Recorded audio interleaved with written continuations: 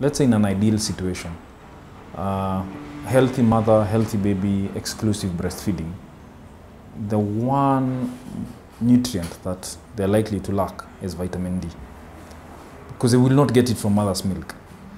Now, uh, traditionally, the push is for children to go out in the sun to get at least an hour of sunlight every day. The challenge is, like in the current weather, is it might not even be feasible to, to suggest that children go out in the sun, either because it's going to be raining or it's too cloudy anyway.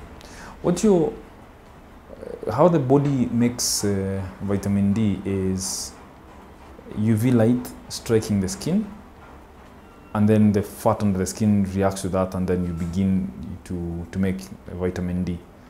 Now, UV light is passes poorly through glass. Now, being dark skinned creates its own uh, unique challenges where UV light is concerned because the melanin in your skin, the more of it you have, the better you are at filtering out uh, UV light. It's protective uh, because like in the tropics, the amount of sunlight we get, if we didn't have you know darker skins, you know skin cancer would be much more prevalent. But in our in our setting, skin cancer is much more rare than it is you know for lighter skinned uh, people. So that also means that you need longer exposure to sunlight to get the same amount of vitamin D. So you're looking at almost double the amount of exposure for someone with darker skin compared to someone with lighter skin to get enough vitamin D. So the consensus has been now that probably consider supplementing for vitamin D. If there's anything you'd consider supplementing for, it would be vitamin D. So you can either do daily daily drops or you can do like uh, every two months you can do like a, a, a large dose of vitamin D.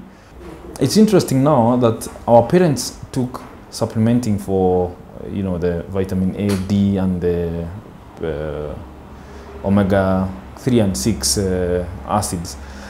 Um, our parents were, were very aggressive about fish oil because fish oil is an excellent source of uh, vitamin D. Uh, our current generation of parents, it's a little hit and miss, so that even older children might still not be getting enough vitamin D. So it's one of those silent uh, deficiencies that doesn't necessarily show up. You see, a child might be getting enough to get by, but not enough to to see the full benefit of you know adequate levels of vitamin D. For example, if you look at hospital admissions, about 70% of children admitted to hospital are low on vitamin D. So it's one of those things that perhaps we need to put more emphasis on